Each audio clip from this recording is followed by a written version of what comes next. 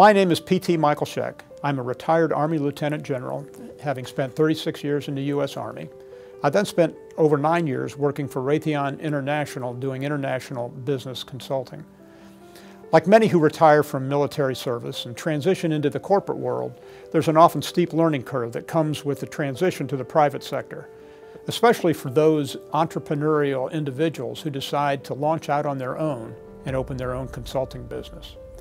SMI's Global Security Consulting University was established to particularly assist those who have recently left the government service and are testing the waters of international consulting. Whether you're a one-man shop or you're going to start working for a large corporation such as a major defense contractor, this short course can really help you get up to speed quickly in all the intricacies of global consulting. You should consider SMI's Global Security Consulting University as your own personalized international MBA program.